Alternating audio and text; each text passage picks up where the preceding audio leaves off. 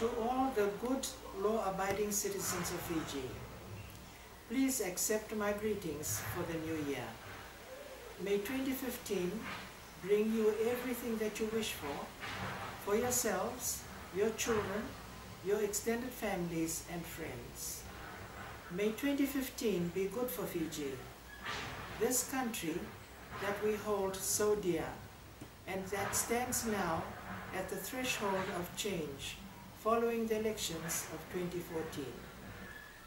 Those elections raised many issues of fairness and credibility, but they have also given Fiji a basis from which to make progress towards happiness, freedom, and prosperity.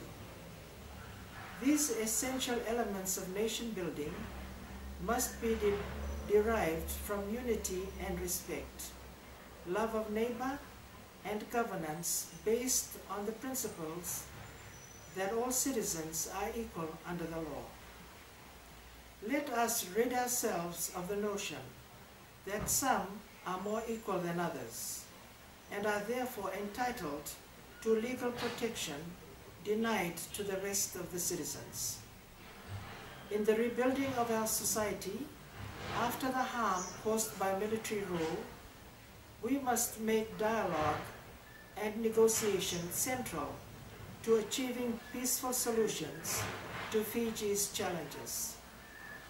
Never again should we permit acts of violence, force and intimidation and illegality to be the methods of government. I stress again that Fiji must gain strength from the rule of law, proper parliamentary procedures, and social justice for all.